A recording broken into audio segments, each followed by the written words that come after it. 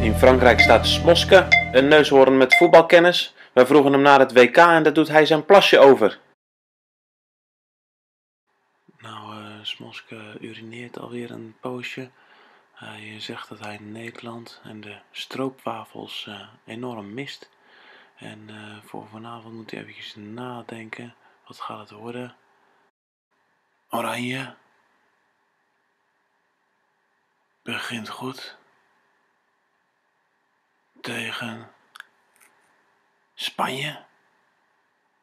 Net als vier jaar terug is het na 90 minuten gelijk. Amen.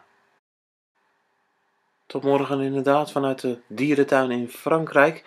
Smosko voorspelt een goed begin voor Van Gaal en zijn mannen.